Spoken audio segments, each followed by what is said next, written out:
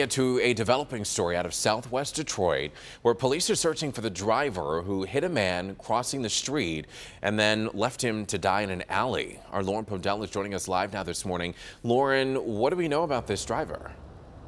Well, we are learning more information, Evrod, about this developing story. We've been working with our sources overnight to bring you the latest. So here's what we know about the driver that Detroit police are looking for. Possibly in a red car, a possible red charger with certainly heavy front end damage and a cracked windshield. So let's get right to the video. This is where police were investigating overnight, actually before 11 p.m. last night.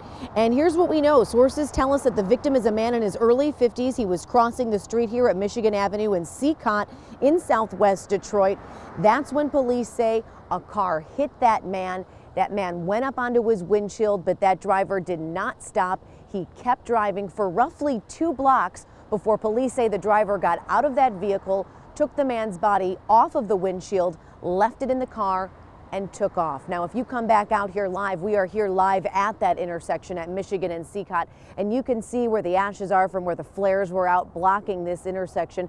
Of course, the scene has cleared here, but Evrod, as you mentioned, the search for that particular driver is now on this morning. If you have any information, you're asked to call Detroit Police. One thing that police have to their advantage is the location of this crash. I mean, if you take a look, Michigan Avenue here in this particular area, completely lined with businesses, particularly this Liberty Tax building that this accident happened right in front of. So police are going to be going business to business. We're hearing, checking out cameras, looking at surveillance to see if they can pin down this driver. Again, a man in his early 50s killed last night by a hit and run driver. And we're hearing this was just a gruesome scene, Rhonda and Evrod, and certainly a story we will continue to follow. Reporting live this morning, Lauren Podell, Local 4 News Today.